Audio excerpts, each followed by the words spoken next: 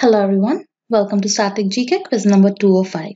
This video is aimed to help you with your state and central government exams like SSC, UPSC, state examinations like uh, PSCs and banking and insurance related examinations like RRB, IBPS etc.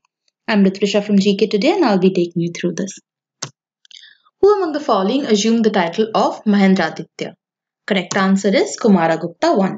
Kumaragupta I was also known as Shakraditya or Mahendra was an emperor of the Gupta period in 415 to 455 CE.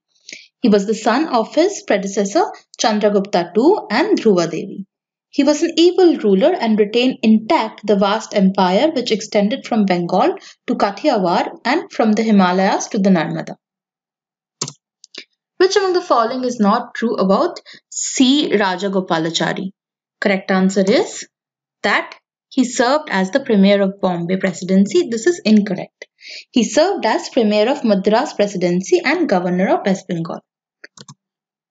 Indian National Congress was founded during whose term among the following in 1885? Correct answer is Lord Dufferin.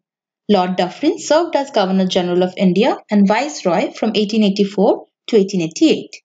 During his tenure, the Third Burmese War led to annexation of whole of Burma and Burmese ruler was exiled to India.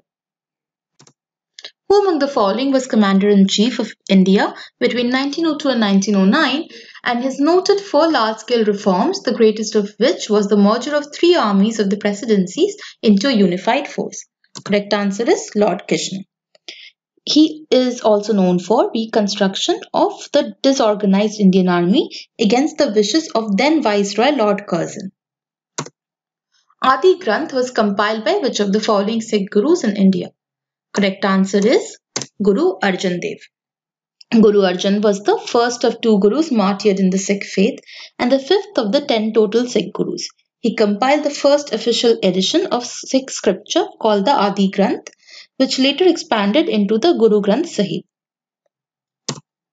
Who among the following was a member of Simon Commission who subsequently became the British Prime Minister and later was to oversee the granting of independence to India and Pakistan in 1947?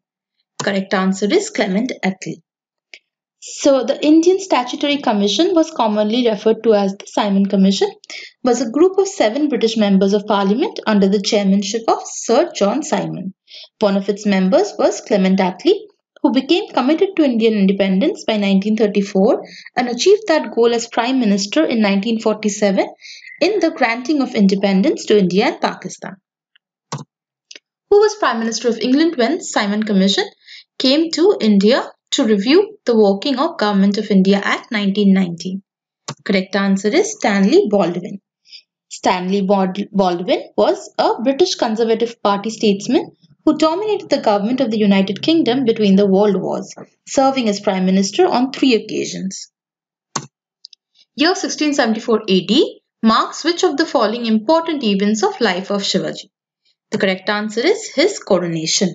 Shivaji was formally crowned Chhatrapati, meaning Lord of the Umbrella, on June 6, 1674 at uh, Raigarh Fort and given the title Kshatriya Kulavantas Sinhasanadeshwar Chhatrapati Shivaji Maharaj. The city of Azimabad, which was abandoned since 7th century AD, was revived by Sher Shah Suri and thus he founded modern day Patna.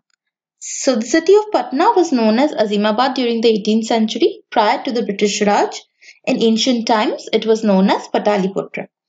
Sher Shah Suri had moved his capital from Bihar Sharif to Pataliputra not long after Sher Shah uh, Suri's death in 1545, Patna and Bihar fell to the Mughals. For which of the following Sher Shah is not known? Correct answer is introducing the system of education by canals.